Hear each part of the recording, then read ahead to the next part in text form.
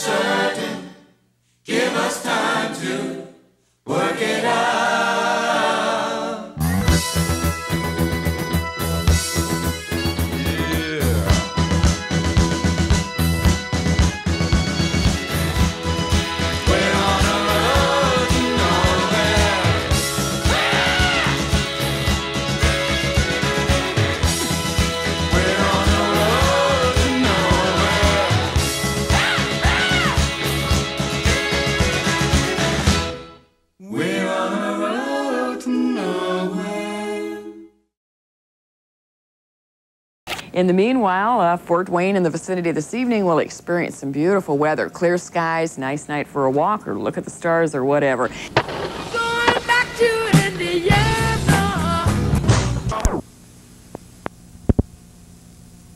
Be Oh, it's cold, isn't it? skate locker. Yes, it's chilly down here. It's air conditioned in the basement. I don't know why. I shut all the vents, but over here is where all of the decks reside. What are some of these? These all got wet, unfortunately, but let's see if there's some that aren't super aren't super wet. Oh, that's sad, isn't it? Look at that. Thrasher. It's gonna be a trick to pull that out. So here is a whole crate of skateboarder magazines. So if you lived in anywhere but a happening city, like if you didn't live in Los Angeles or man, Los Angeles was it. So if you didn't live in Southern California and you wanted to be a part of everything that was going on in pool skating and ramp skating and all that, just kind of live for that to show up in your mailbox, and then you could like be a part of that whole thing again, and you'd learn what tricks were people doing and what was you know who was really hot and who won Skater of the Year and all that kind of stuff. So unfortunately, mine got damp, but I'm hanging on to it anyway. My name's Tim DeSanto. I'm 54 years old, and I've been skating for 39 years.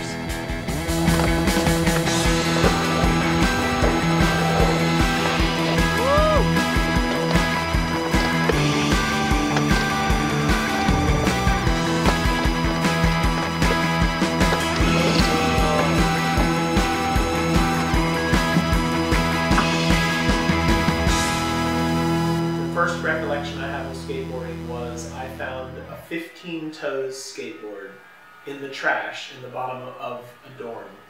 And I pulled it out of the trash can and I took it. I just figured somebody threw it away. I was skateboarding on it and a student came up to me almost immediately and said, Hey, that's my skateboard. And I kind of, uh, you know, I'm like, What do you mean? I said, I got it in the trash. And he goes, Yeah, my friend put it in the trash. And he ended up giving it to me. My dad always says that speed is your friend, hesitation is the kiss of death. It's really hard to think that you're going to land it on the first try, you're not. My son. See how fast he's going. Hang on a second. Oh my goodness. No way. I'm not. Slow down. Slow Slow down. Howdy. license, but go a little fast back there until you can stop. How fast are we going? I think we get. He's pulling out the rubber gloves. I had some friends that I skied with that started skateboarding, and they were skating. Ramp skating started to become popular, and so I got all excited about it. Then this place shows up in Cherry Hill, New Jersey. They built this skate park that's like got more press than anything in, in the world, and that's five hours away from me. So I started going to Cherry Hill probably probably once a month to skate, and they had supposedly the best pool ever built, which was um, the Egg Bowl, and it was 14 feet deep with three feet of vert, I think, and it was huge, kidney-shaped pool. After that stuff, I kind of got more into skiing, kept skating for fun, and then a few years later, met my wife Dawn, and then made the jump to Fort Wayne. This is Tim DeSanto, an up-and-coming professional alpine skier. Training for the sport in Indiana in the summertime is obviously impossible, so he's come up with a unique way to stay sharp without snow. He calls this the bowl. He built this a year ago, soundproofed it so it won't bother the neighbors, and trains up to an hour and a half a day on it. DeSanto is hoping that this type of training will make him competitive on a worldwide scale. But if it doesn't pay off and he falls short of his goal, at least he knows he gave it the best shot he could in his own backyard, in the middle of summer, in a homemade bowl. Jim Payne, News Center 33. But there was a lot of trouble downtown. There was a big altercation between police and kids skating in the fountain in Freimann Square when it was drained. We had ramps in the fountain, like all winter long, and we'd skate on there all winter, and like they, nobody cared. The cops didn't care. Like we'd have ramps, so we'd like air out of the pool, like out of the bricks and all that. My name's Dan Butler. Been skating for 28 years, and I'm 40 years old.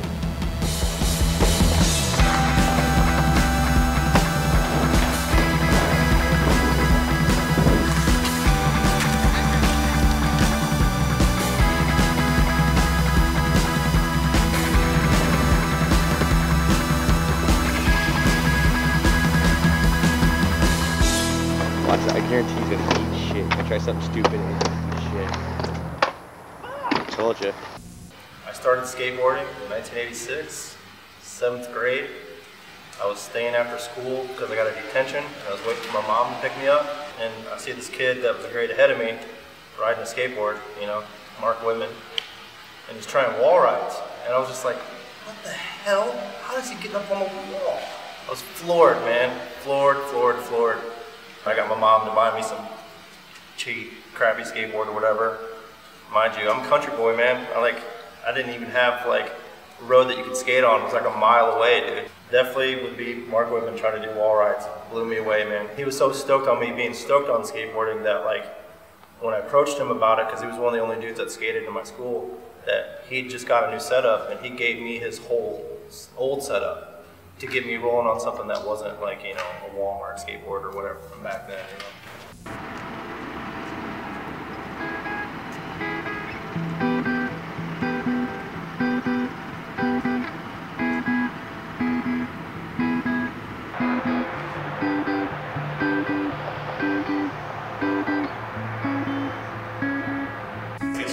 Tickets everywhere downtown. Kids were taken downtown, and that started the whole like we all went into the city council meeting and said, you know, we need a place to skate and like pushing for a skate park. And eventually, the Parks Department agreed and put the funding together to build Sweeney Skate Park.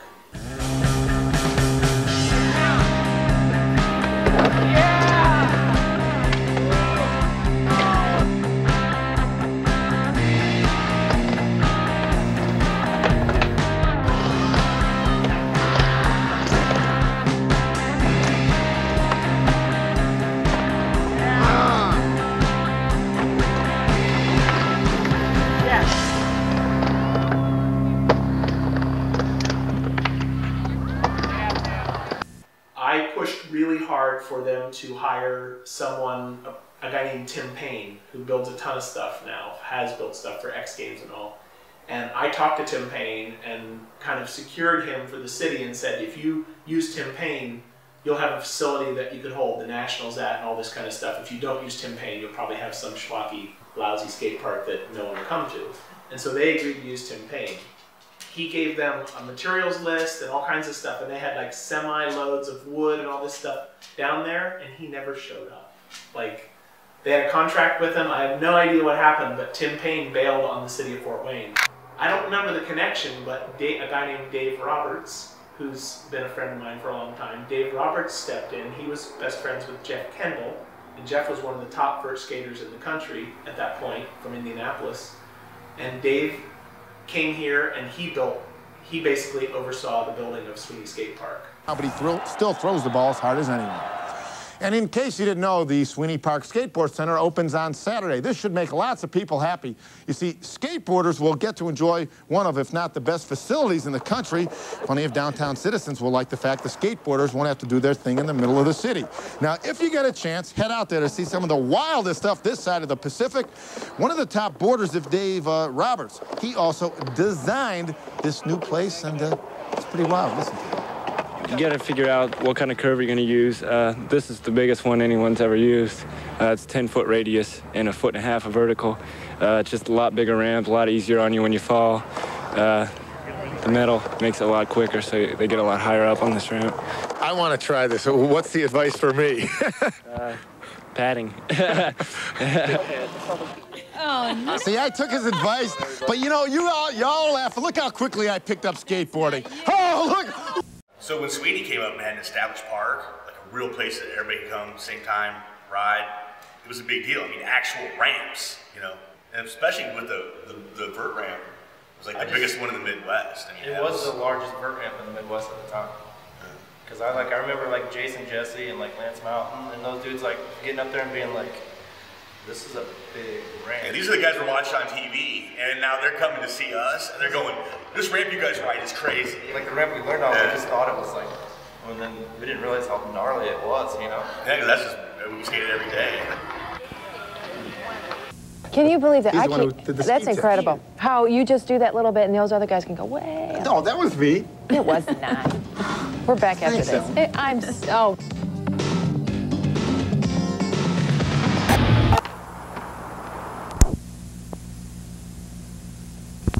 Matt Haynes, aka Doodoo Brown. 40 years old. Skating for 26 years.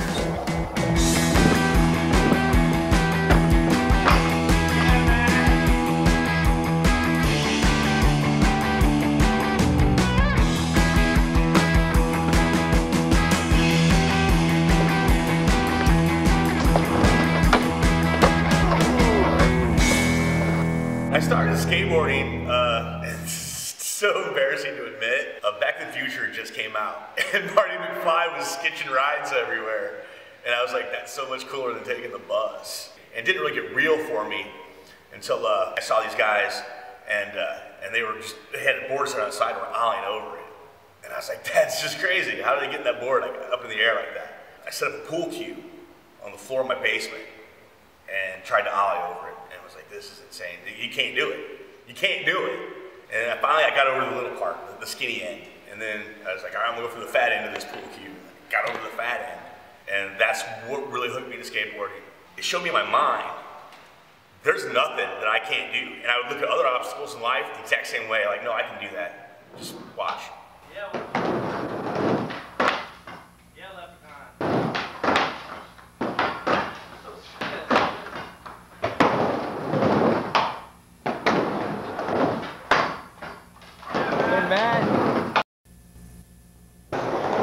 Wow, this is beginning to look like a jumble of lines.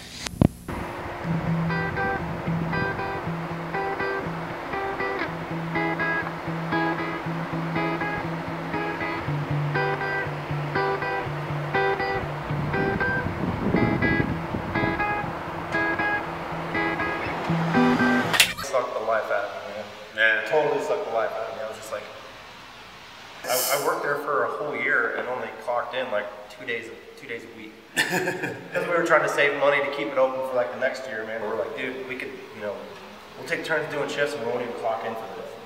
Because we know if we do this much, we'll have enough for a whole other year. Because that whole place was built off of donated money, man. Then a bunch of us tried to go lease it from the city. Do you want any detail about like the mayor lying to us and all that stuff? Yeah.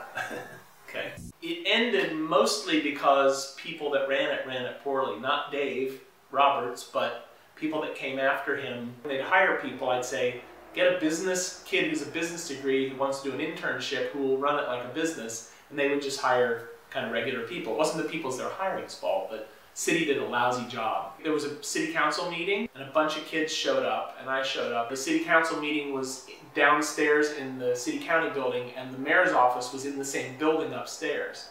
And I went to the mayor's office, Mayor Helmke was Paul Helmke, and the director of the Parks Department, I think Arnold was his last name. I said, promise me you won't close Sweeney Park without um, letting us know and giving us an opportunity to keep it going, to do what we need to to make it happen. And they said, we, you know, we won't do that. We definitely won't do that. And I had a friend in Pennsylvania who wanted to come here and run it. He was willing to come and work it and run it, and he could have done it. And they said, oh, we already are talking to someone.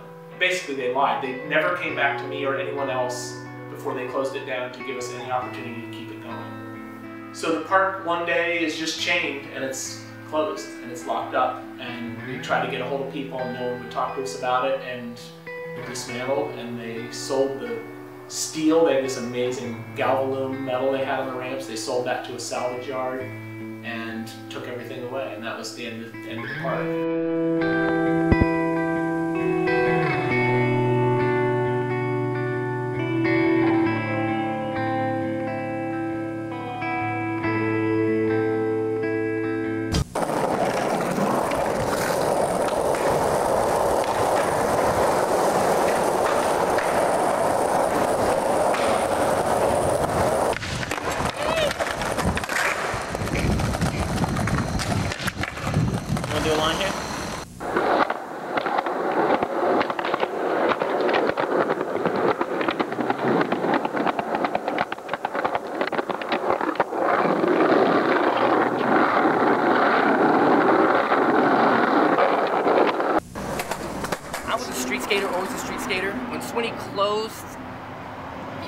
Bummed, but I was also too young to realize what, what we had.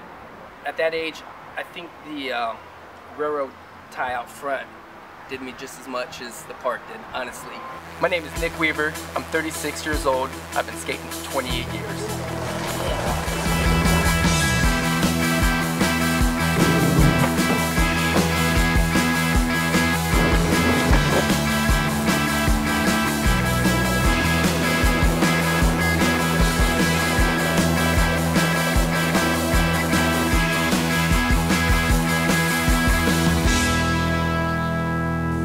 First time I saw skateboarding.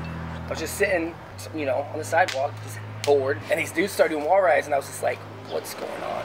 Like, this is crazy. I want to do that. I want to do that. It was just rad. It, just, it hit me. My dad came to town, took me to Children's Palace, said you can get anything you want. I picked up a skateboard, and that's, that's how it started. I don't trust him.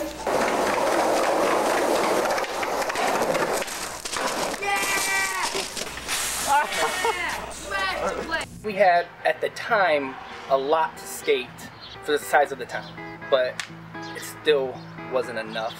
But we utilized everything. There was stuff to skate. And back then, you know, you could skate flat ground, just do lines. That was skateboarding back then in the 90s, doing lines, skating the streets, shit like that. I mean, the kids weren't as picky, you know.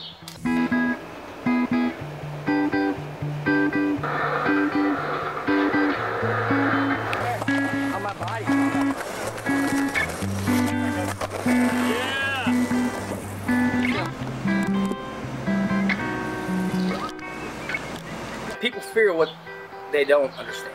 And back then, it was new. I mean, it, to Indiana, it was new. You move so fast, and it's such it's such an aggressive thing. Yeah, people just didn't get it.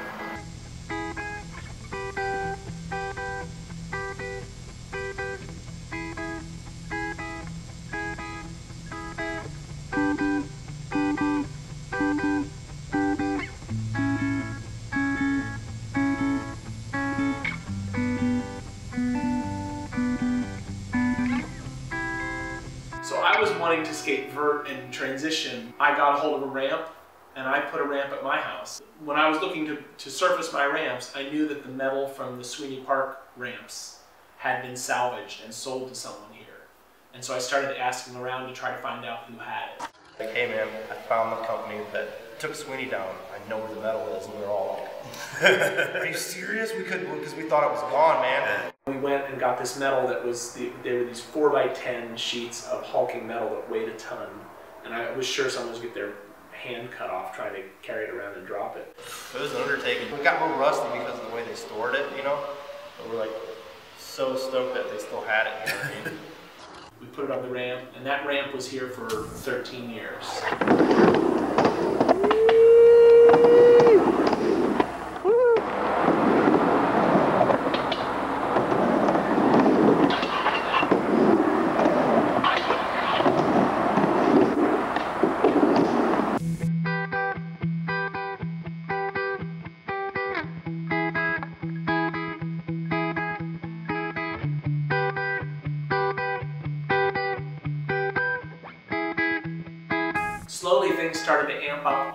Park skate parks started being built around the country.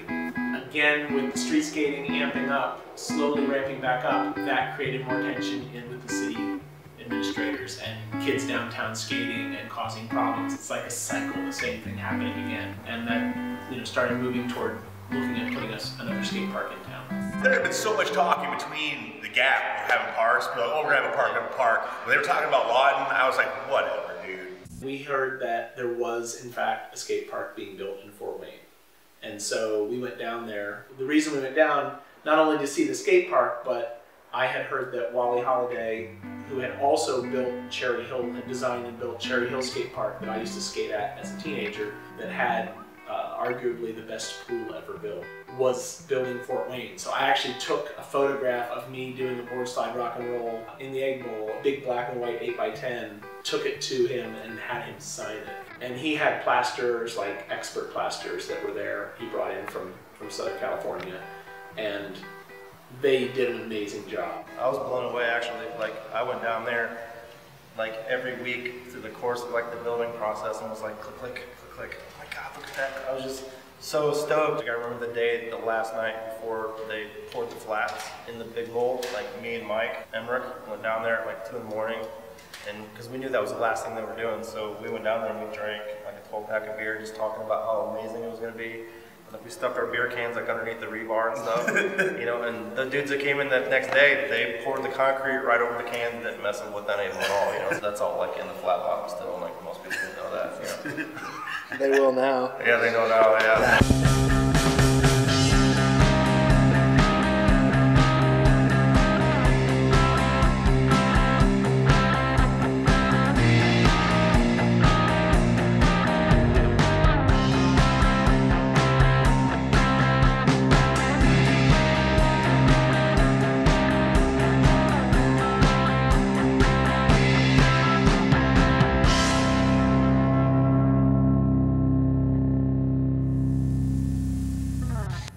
Yes, I was surprised when Lawton Skate Park opened, especially for how good of a park it was and how big.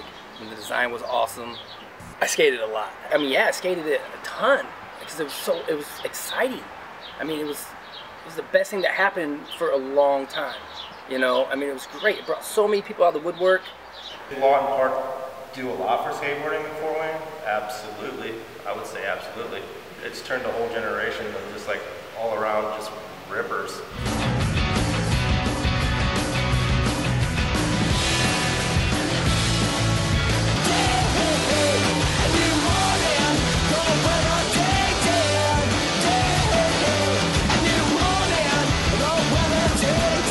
Got a job um, when I was 17. Just I wasn't happy with you know my current situation, and I just I love skateboarding, and something was missing from this town. Something was missing from my life, and it's almost like I woke up one day and I was like, I'm gonna open up a skate shop.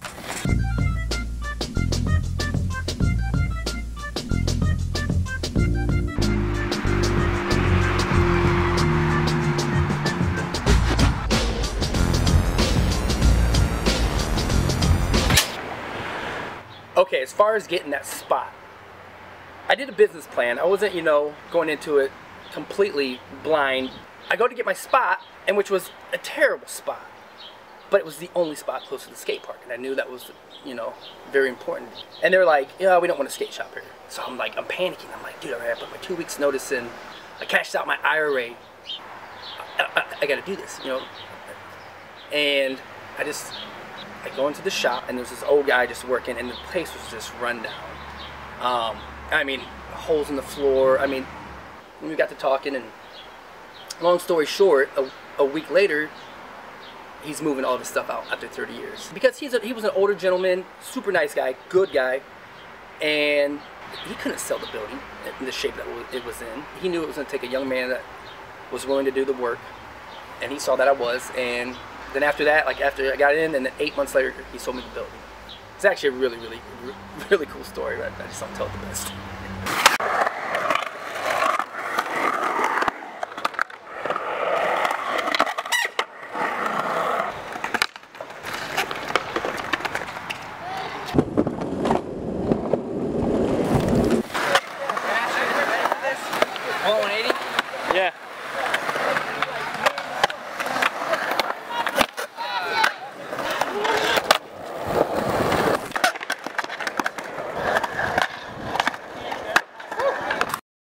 Name's Christian Long. I'm 17 years old and I've been skating for 11 years.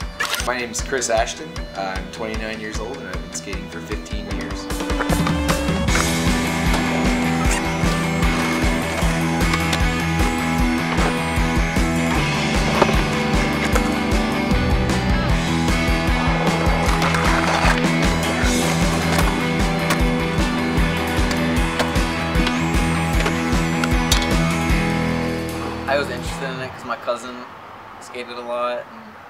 Well, he just kind of always had like a board laying around his house. When I first started skating, I mostly just skated like in my driveway. I never really went down to the park or anything. I was just like kind of scared of everyone. Like, I don't know. Just like in my driveway and like anywhere my friends were at. Christian, turn around. Look at look at the camera. I don't think I can.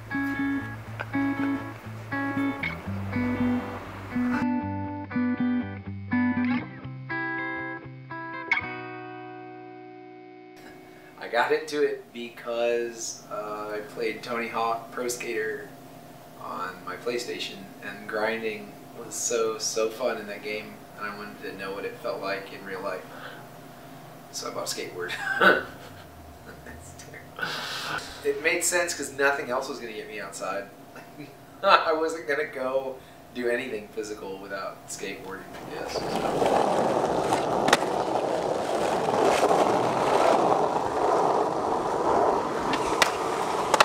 Think that we have great spots. There's lots of different stuff to skate. That said, nothing's perfect. Like you just need to think creatively. People need to think outside the box to have fun here. As far as street skating other places goes, like you know, being on vacation in Southern California sure was fun. uh, there's lots of stuff to skate there. And Los Angeles was a gift. So if you didn't live in Southern California,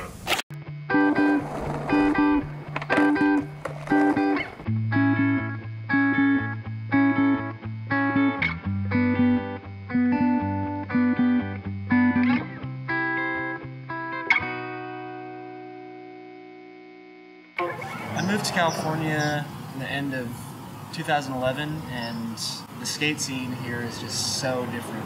It's crazy. Everything is different, really. My name is Rio DeSanto. I'm 21 years old and I've been skating for 11 years.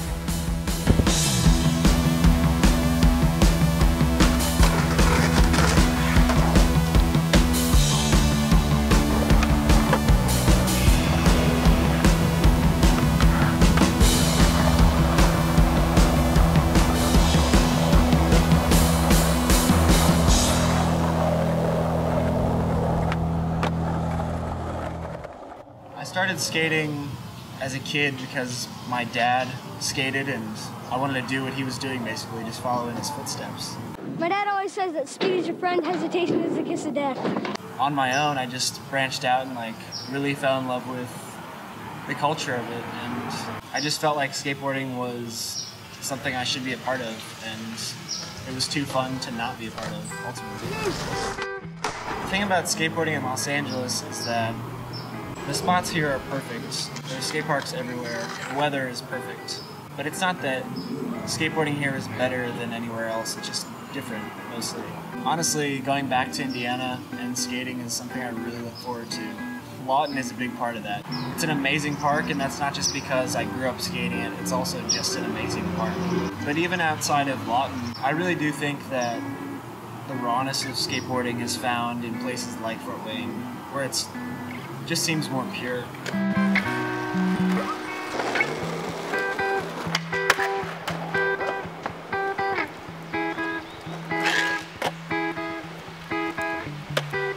And padding and installation are no extra charge. Rap is what the producer's saying right That's now. what he's saying. Come on.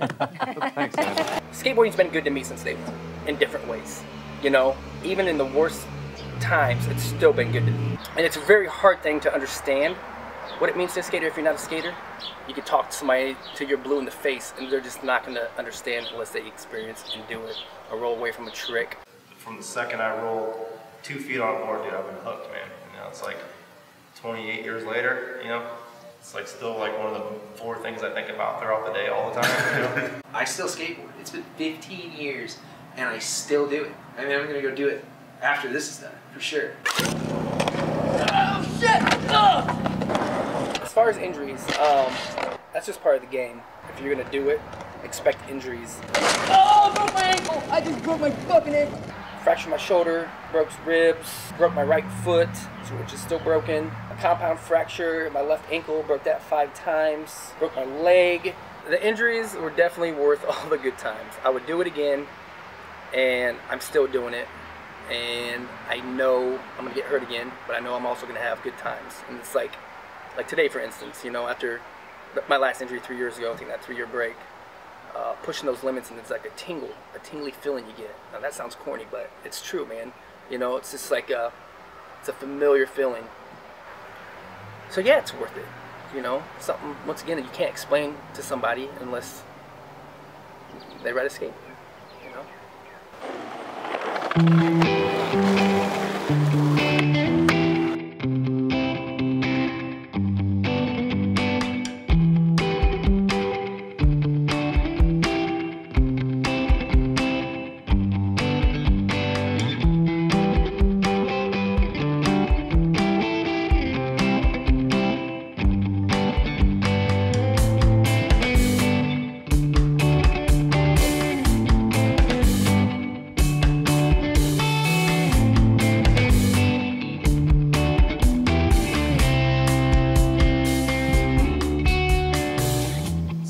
Is so rad in the city. There's so many just amazing skateboarders here, man. It blows me away. I just want to see them be able to skate year round. So like, if maybe dudes will get to that point where you know, if they want to go try to make something with skateboarding, at least they have the chance to like skate year round here. Seeing little kids walk in and like barely being able to go up the small quarter pipe one day, then you come in like three weeks later and they're dropping in on the biggest quarter pipe. Like this stuff amazes me, dude. You know what I mean? Progression, sick. That's a good reason why I did this.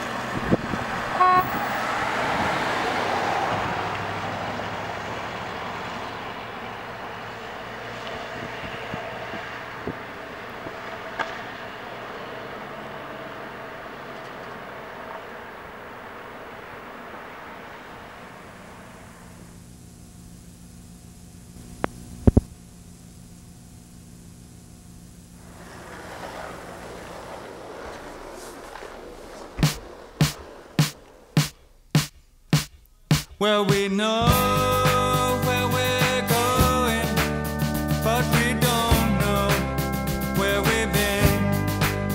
And we know what's Strong hairline. but we can't say what Seems like yesterday, man. Crazy thing, that was almost 10 years ago. Oh, here's one. Mikey P. I've never seen anybody snap an ollie like him. I swear. This is Adam Keir. This is 93? No, that's 95. And the memories, do you know? How has skating changed for you now compared to when you first started? Get your quarter. What draws you to skateboarding so intensely that you're you just doing donuts? I remember getting to know Nick Weaver. I didn't really know Nick that well, but he was part of the skate scene in Fort Wayne. At some point, a few years back, he said to me, do you remember when I asked for your autograph? he was doing inverts, and I was blown away. And so I was like, I thought he was a girl, and I asked him for his autograph. and he was like, I don't know, I guess. Here's some old shitty photos. you can tell I'm a sentimental son of a bitch.